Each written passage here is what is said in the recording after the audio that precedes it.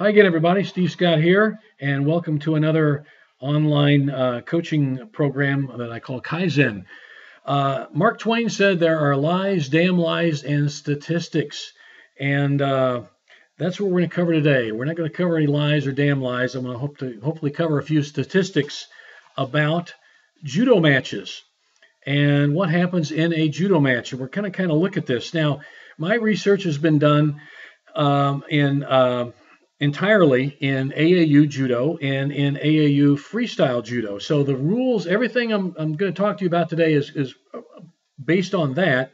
However, the rule set that we used in AAU, that we use in freestyle AAU judo, is um, a very good mix of standing and ground. And I think anyone, whether you are an IJF or or, or USA type USA judo person, you might find these statistics useful. So but again, I think the old saying, good judo is good judo. And I think that would be certainly the case here. But these do reflect how the rules of freestyle judo are written in the sense that we do have a, a very uh, uh, even split of standing and ground action in freestyle judo. You'll see when I bear out as I as I talk about these more uh, today. So anyway, let's let's get with it. Um, we're going to cover is the wide gamut uh, of uh, the attack patterns and match time, the whole thing. Okay, first of all, my statistics come. Uh, I've been keeping them since about well, now it's 2015. We're in we're in 2015, and I've been keeping them since 09, 2009, and I would not use these in, in a professional journal. However, for me, the statistics I've been keeping are good enough as a coach. They do give a, a very, to me, accurate uh, indication of what actually happens in a judo match. So whereas I wouldn't, you know, publish these in a professional journal, um, but I, I, would use them um, in in a uh, as a coach for my benefit and the benefit of my my athletes. And I hope you can use these statistics as well. So again, they're not like super scientific, but they're really accurate. And I've kept uh, hundreds of judo matches. Okay, so I am a geek on this stuff, and I've been doing this type of thing ever since I was a young coach. I was in the habit of coming home, uh, looking at the notes I kept during a, a, tournament, and compiling them, and then studying them, and then using those notes to see how I could better coach my athletes. Well, um, here we go. It's the same type of thing. Hopefully, you can use the information I've garnered here uh, with this and, and, and, use it in a positive way for your athletes as well. If you're a coach or if you're an athlete, use this information for your own training. Okay, so the, the what I did here is over this period of time, I selected uh, males and in the senior category. Now, I'm not being a um, uh, you know um, anti-women judo or anything else, or anti-junior judo or anti-masters or veterans judo. It's just that there were more male judo matches in freestyle and AAU judo that I that I studied than the others. And I might also add that with we we don't have that large of a population of females in freestyle AAU judo that I could keep what I felt were uh, what I believed were to be uh, as accurate statistics as I liked.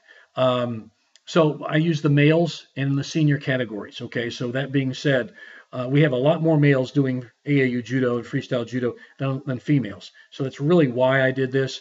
It was more for accuracy. Uh, and in juniors, uh, juniors are still learning; they're still developing. Uh, I mean, we, we could do something on juniors if you if you know if someone wanted to do that, go ahead and do that. I didn't. Uh, and same with the veterans or masters. Um, I thought males were a good indication of what's going on in the sport, and I, I had so many of them, and it was a good uh, a good study group to use. Um, so let's get at it. Okay, 64.5% of the time, almost 65% of the time, the first athlete to attack wins the match. That's that happens. And I think that's generally that's what I always heard about 60% of the time the first person to attack wins. Well, same here. So we have it. It you know, I've been keeping stats on this. So 64.5% of the time, first guy to attack, first guy well, first guy to attack wins the match. Okay. The average match length. Now remember, five minute matches in freestyle judo. Okay, that's five minute, you know, that's the length of the match. Okay, and the two minute overtime, uh, the first score to win overtime, but it could go up to two minutes uh, if it is a five minute match. But five minute scheduled match, the average match match length in the seven different weight classes that I studied was 2.43 2.43 seconds. So almost well 2.43 seconds. Two, two minutes and 43, two, four, four, three seconds. Isn't that great? Two minutes and 43 seconds. Boy, there you go. Okay, so two minutes, 43 seconds is the average match length in a freestyle judo match. Breaking that down, before I break it down, I think, now again, these are based on national matches, generally, uh, and some very high level regional competitions, but mostly national statistics. Now, the IJF keeps stats, very good ones, and their average match length is the last I read it. I might be totally wrong now, but about three minutes thirty seconds, and that was at the international level. My statistics are at the national level. Okay, so if you kept look, I don't know if USA Judo keeps stats on this. Uh, I'm not privy to them. I, I, haven't even tried to look at them. They may be out there. But if they do, they may be somewhat similar to what we're doing in freestyle in terms of statistics, or they may be closer to the international thing of three and a half minutes. Don't know. But there are reasons for this because the way the rules are written, the way the referees conduct the match, um, uh, you know, different. Uh, the, like I said, the way the rules are written, we see about a 50-50 split of standing and ground fighting in freestyle judo, where you see predominantly standing uh, uh, throwing techniques in, in IJF, and also it's the international level, so they may be more cautious at that level and not wanting to make a mistake. It could be, could be the, don't know, but it could be those factors. So we're seeing a little bit different, okay, and, and between what we're doing, what my stats are, and what the IJF may be doing. So a little bit different there. Different different match lengths for different body weight categories or different different weight classes. In the 145 pound class, the average match time is 3 minutes 29 seconds. In the 155 pound class, 3 minutes 11 seconds. In the 165 pound class, 2 minutes 41 seconds. In the 178 pound class, 3 minutes flat. Okay. In the 190 pound class, 2 minutes 23 seconds. In the 210 pound class, 2 minutes 45 seconds.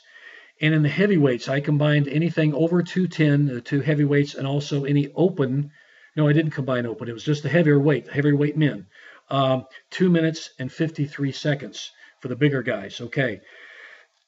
Now, um, the average time between standing attacks in all weight classes is 10.06 seconds. So slightly every 10 seconds, one athlete will attack another athlete with a, with a throw, a meaningful throw, not just kick at him to make the referee think you're doing something great. No, a meaningful attack, some type of. I, the guy actually tried to break the other one's balance and throw him. Okay, so every 10.06 seconds. The average time between ground fighting attacks is 11.6 seconds, so slightly under 12 seconds. Okay, so that's some interesting things about what's going on in the freestyle judo match, AAU matches.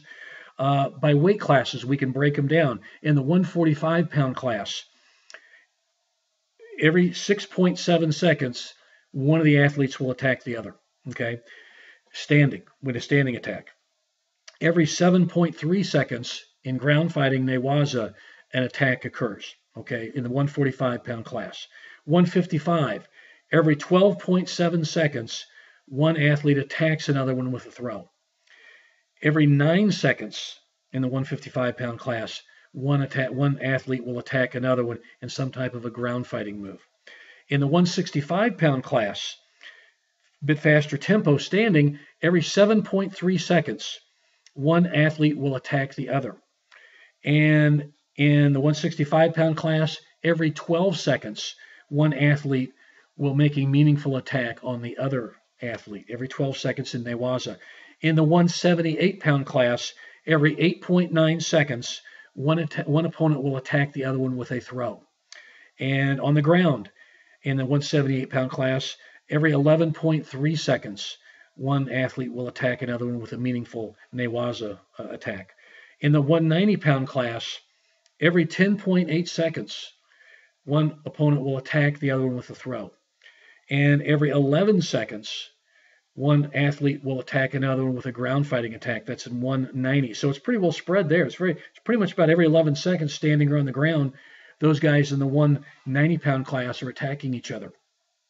In the 210 pound class, every 10.8 seconds, almost every 11 seconds, uh, one athlete will be attacking another one with a throw. And on the ground, every 12 seconds, an athlete will be attacking another one uh, in within the 210 pound class in Newaza. In in the in the weight classes above 210, every 13.2 seconds, a bit slower tempo, not exceedingly slower, but a bit slower. Every 13.2 seconds, we are seeing one athlete try to attack another one with a throw uh, in, in the, anything over 210. Okay, and in the 210 and over 210 pound class, every 15.5 seconds, there will be a, a meaningful newaza or ground fighting attack, either arm lock, pin, or choke. Okay, um, and overall, when we're looking at percentage of throws, percentage of ground fighting moves, and percentage of decisions or point wins, uh, the spread is kind of really interesting to me. Um, in all the matches that I've looked at, 40% of the time there is a win by a throwing technique. That means a um, ippon, pretty much. Okay, or it could be a, a, total point spread where they were all throws. Okay, uh, it could be you know like where you have an opponent you know keep getting getting four point throws uh, or you know big throws like that. But generally, I think, and I would say all of these my stats here would be primarily to be pawns. So 40% of the matches will score ippon from a throw. Okay, we can say that with some clarity. 36% of the time, there will be ippon scored with a ground fighting technique. That will be either an arm lock or a strangle. Okay, either Kansetsu Waza or Shime Waza. And so 36% of the time, now of that 36% of the time, 38% of the time is a strangle, a Shime Waza, okay, a choking technique. 62% of the time will be an arm lock. If, if, if an opponent is scored in a match in AAU freestyle judo on the ground, 62% of the time uh, it will be an arm lock, and uh, 38% of the time it will be a strangle. Now, 24% of the matches ended either in a decision uh, or a 12 point spread, okay, where one, one athlete had 12 more points than the other. Okay, so that and we, we counted those all in a decision win format. So 40% of the time, ippon from a throw was scored. 36% of the time, an ippon from a ground fighting technique, either an arm lock or a strangle, was scored. And in 24% of the time, a decision win was scored. Okay, so that's how it breaks down into the percentage of wins, uh, you know, uh, standing ground and decisions or point spreads. Okay, let's look at the most popular throws. Okay, um, and I'll go over these quickly. All right, and the top. Now remember, also in freestyle judo, we allow leg grabs, so we can allow morote gari, ashidori, kataguruma, that type of thing. Um, as long the, the rules are very specific. You have to have grip of your opponent first, both hands initially, and then I can attack. Don't just shoot in like a wrestler. You know, no no drop and shoot or you know anything like that. So you have to have a good grip first before you initiate your throwing attack. Um, and that's a rule we use in freestyle judo, and that really does cut down the amount of people trying to drop in and throw like in, in making wrestling. So we want to keep it very much judo. So keep that in mind when I'm reading these statistics to you that some of the throws we use, like in IJF, that you you can't touch anything with your hands, anything below his waist. At least that's the current rules now as of 2015. So, um, at least that's to my understanding. But in freestyle judo, AAU judo, we allow that. And even in the AAU judo rules, not just freestyle rules, the regular rules, we allow that as well. So, that being said, the most popular, the most often scored throw in freestyle AAU judo is osotogari or slash osotogake. Major outer reap or major outer hook could be crossbody osotogari, sometimes referred to as osotogake. Uh, so Osotogari, uh, one of the very first throws we teach the beginners, isn't it? Uh, certainly in my case, um, it's one of the classic throws of judo. Hey, it stood the test of time. Still a great throw. Number one, okay, and number one by quite a bit. Very popular throw. The next most popular, number two, is Uchimata, another classic throw. Uchimata, inner thigh throw. Number two. Number three, any form of seoinage. Now I counted them all together. Could be knee drop seoinage or standing seoinage. We see both. Uh, primarily though, these were from knee drop seoinage attacks. Okay, uh, I would say Again, I don't have the stats right here in front of me, but I did parse them out and I forgot to really put them here. But I would say 80% at least, if not more, of those Seoi attacks were of the knee drop variety, the double knee drop variety. Okay, very aggressive. Not just flop and drop, but a meaningful attack you tried to break the balance. So, number three, Seoi Nage. Uh, either Morote or Ippon Seoi Nage. I lumped them together. All right. Number four, Uranage, rear throw. That also includes any related lifting throw, like a thigh lift or uh, what's commonly referred to in judo circles as a Kharberelli and any, any type of a thigh sweep or, or, knee lift throw where you would lift like we do in sambo from my sambo background where we lift them up and throw them over our hips uh, any type of throw like that is considered lumped together in uranage or rear throw okay so number four it isn't just by the way isn't just as a, a counter technique it is a very aggressive move we did see it a lot as counters yes very popular counter but we saw that really as an aggressive move just as often. And so Uranage, number four. Number five, Harai Goshi, another classic throw. Harai Goshi, number five. Number six, Morote Gari, both hands reap, double leg takedown, double leg throw. Morote Gari. Again, freestyle judo, we see it. You won't see it in IJF. So if you're an IJF guy uh, and try, you know, looking at this, uh, count that out. But we sort of see it and again, not just drop and shoot. These are meaningful attacks, trying to throw them for Ippon. We saw a lot of Ippon scored with Morote Gari too. Very, very good throw. Next is Tsurigoshi or lifting hip throw. Don't confuse that with Tsurikomi Goshi or lifting pulling hip throw. It is a different throw. It is where you grab around the waist, grab around the, the back in a back grip or a monster grip, and you're grabbing his belt or jacket, tossing him over your hip, throwing him over your hip. Tsurigoshi. Very similar throw. That was number seven. Number very similar throw was number eight. Koshiguruma hip wheel. We see that a lot in the kids, but again, my stats are all with adults. We saw that a lot with the adult men too. Koshiguruma, even though it's considered one of the very basic throws of judo, is still a very good competitive judo technique. So Koshiguruma. Um, you'll see the Ogoshi a little later in the list too, by the way. The next one is Ko Uchigari or Kouchigake or Kouchi Makikomi. Kouchigari, minor inner reap. Kouchigake, minor inner hook. Kouchi Makikomi, minor inner winding or sacrificing type throw, wrapping throw. Uh, those are all together. The Kouchi series. Uh, that is number nine. Okay. Number 10, another pickup throw, Teguruma, hand wheel. Some people call it Sukui Nage.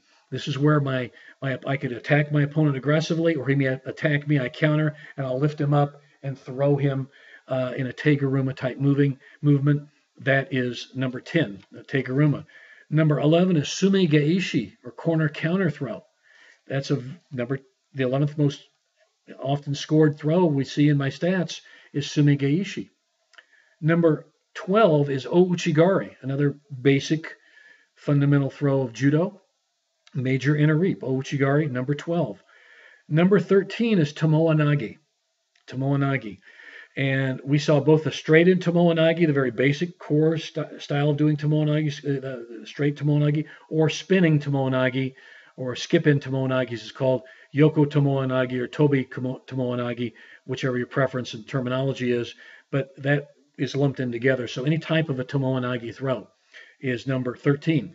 Number 14 are the foot sweeps we saw Deashi Barai, the advancing foot sweep, or Okuriashi Barai, the send after sliding foot sweep. Um, we saw those as the number 14. I put those together because it's it's kind of hard to really define which happens that quickly. And um, but it, again, I lumped them in together. But basically, a good clean foot sweep was number 14. So that is still good standard classic judo is still out there. An interesting number 15 right behind that and we saw this a lot in the heavier guys, believe it or not, is Sasae Tsurikomi Ashi, propping drawing ankle throw or the propping drawing foot throw. And that was number 14, or 15, I'm sorry, number 15 was Sasai Surikomiashi. Number 16 was Soto Makikomi, the outer winding throw. Big movement throwing. We saw that number 16. Number 17, again, a leg grab, was Ashidori, leg grab. Ashi means leg, Dori uh, means grab, leg grab, ashidori. Um, that also includes the ankle picks. we saw where one athlete might be attempting an uchimata and he reaches down, he scoops the ankle, does a knee block, that type of thing. That and the score came from that ashidori, from that leg grab. Might have started as uchimata, might end up as ashidori. Could have been straight in from a grip to an ashidori. That happened as well, or ankle pick. So ashidori number 17. Number 18, we kind of had three throws together. We had kosotogari, minor outer reaping throw, or the switch, which was could be construed as a kosoto type movement where you fake forward and you kind of switch. You do a thigh sweep or a, a rear foot sweep of some type, or it could, it could be you shoot your leg so far back. It is also a tani otoshi. So we have number nine, uh, number 18, kind of a con, com, combination of Kosoto Gari, of a switch of what's called the kosoto switch or the uh, the twitch, the British call it, or tani otoshi where it's you know you maybe fake forward and throw them to the rear as an aggressive movement. Uh, we didn't see so many Tani Otoshis as defensive movements, although it's a popular move, I'm sure. But we, in my stats, I tended to see more of an aggressive movement. So number 19 is, or number 18 is more of a Kosotogari switch Tani Otoshi. Okay, so that's number 19 or number 18. I keep going to number 19. Number 19, I keep looking, is Ogoshi, major hip throw. Good old fashioned basic throw, ogoshi, one of the core throws of judo. And the 20th most often used uh, throw that we see uh, is kosotogake, minor outer hook. And interestingly, we didn't see a lot of katagurumas. I thought when I was looking at this and studying this and looking over my notes and compiling them, I thought I'd see kataguruma more often. And I didn't see it that often. I saw a little bit of it, but not enough to get in the top 20.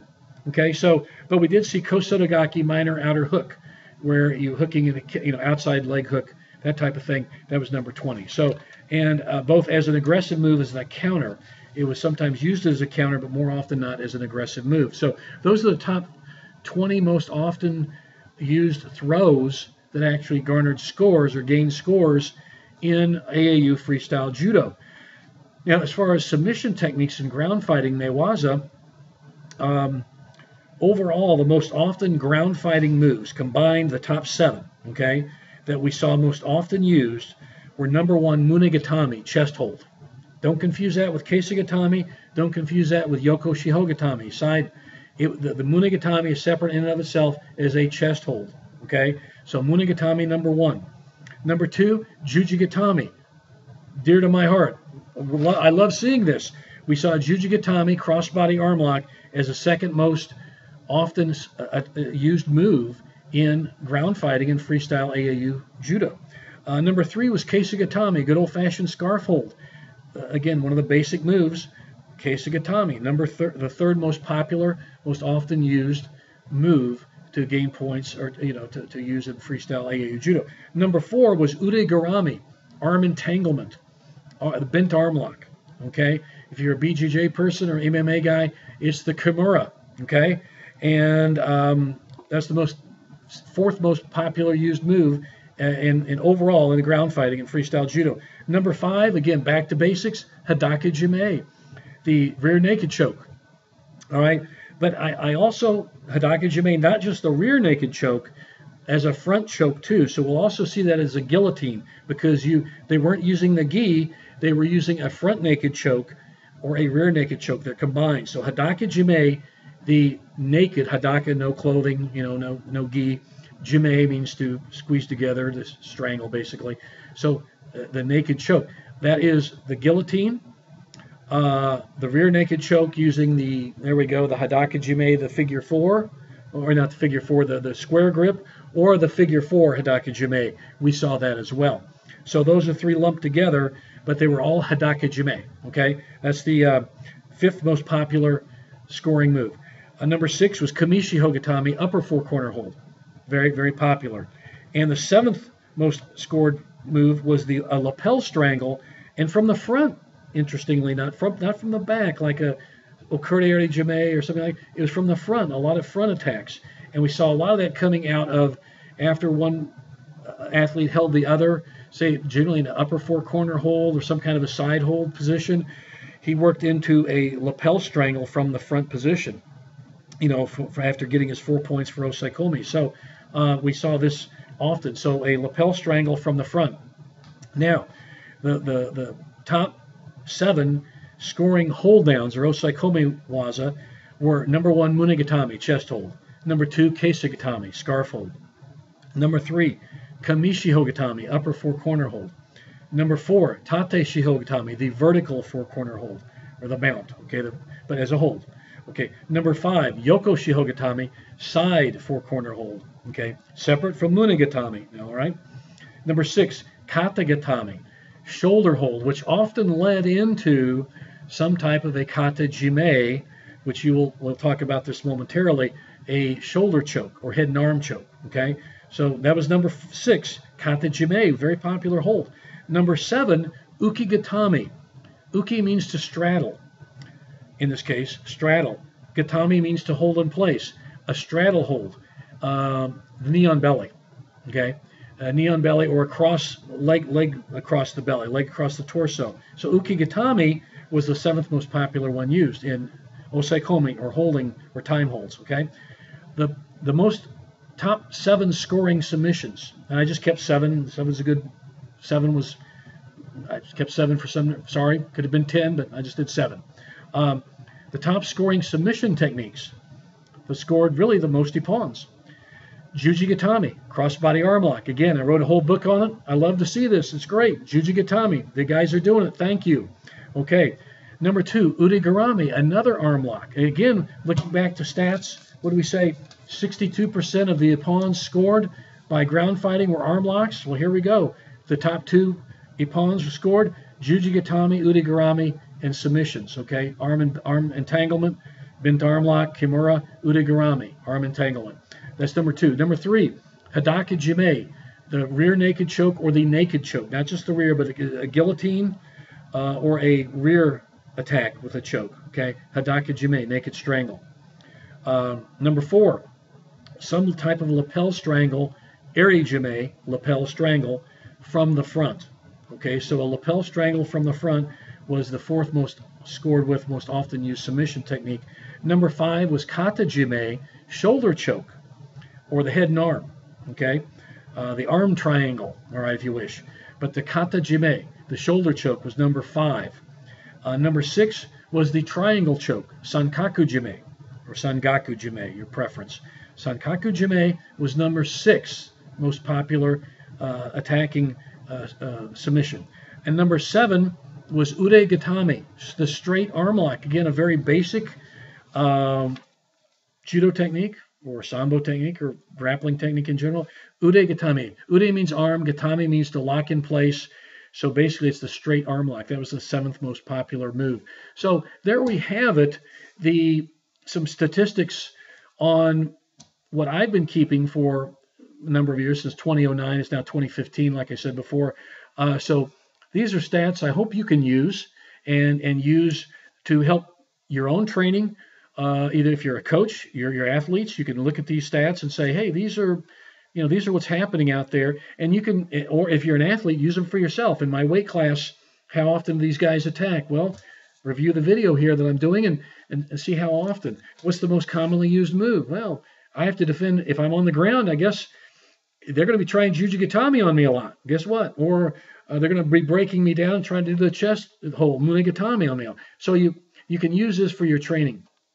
And uh, but but I like statistics because, like I said, as a young coach, I got in the habit of doing it. Now that I'm an old coach, I'm still in the habit of using these, and I hope you get in the habit of using statistics because they give you a better feel, a better idea of what's actually happening in a contest. It's not just a matter of guesswork or I, this is what I like to do because my sensei taught me to do this. If I want to coach athletes to win matches, I want to see what's being done by my opposition and and what's being done by well in the sport in general. What are the general trends? And now with these with this information you can use this to better coach your athletes if you're a coach or to use it for your own benefit if you're an athlete. So anyway uh, again mark twain said there are lies damn lies and statistics but uh, these aren't lies or damn lies they're statistics and uh, hopefully you can use them to your benefit and if nothing else, it's been a whole lot of fun for me to keep them because I just kind of like doing this stuff. So uh, until the next issue or the next episode, I will see you and stay safe in training and uh, see you later.